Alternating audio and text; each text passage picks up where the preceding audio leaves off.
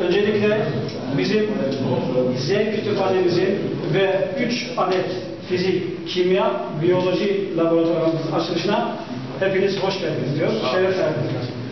Ee, okulumuz 2015-2016 eğitim öğretim yılında hizmete açıldı.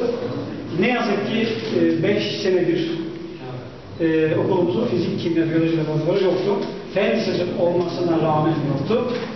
E, şükür e, Sayın Milli Eğitim Müdürümüzün bir miktar desteği ve akabinde gelen donanım öde, ödeneğiyle 3 adet fizik, kimya, biyoloji laboratuvarımızı e, tamamladık.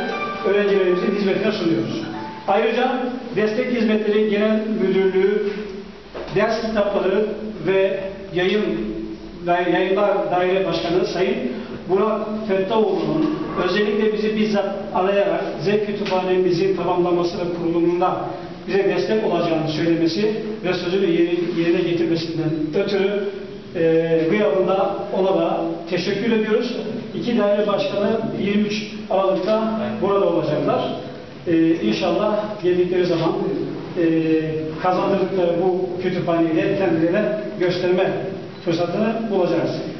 Ee, Sayın e, Kaymakamım, özellikle bu e, eğitim donanımı ve araçları kısmında bize destek sunan ilçe milli eğitim müdürümüze ve daire başkanımız Sayın Burak Fettahoğlu'na tekrar teşekkür ediyorum. Kurdelemizi ve asıl şey yapmak üzere sizi buraya ediyoruz. İyi oyaladın, iyi oyaladın. Kapıyı da açtın. Kamil abi gel. Nasıl uzatabildim mi? Kapıyı da açtın. Bizim hastalığı değil mi? Kayıttayız.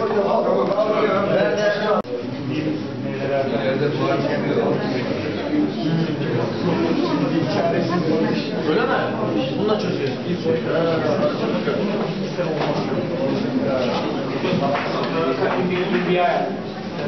olur.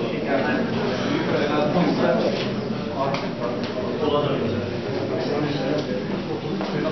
Ha. Çok iyi yani. Ben o arkadaşım halimde bir çözelti.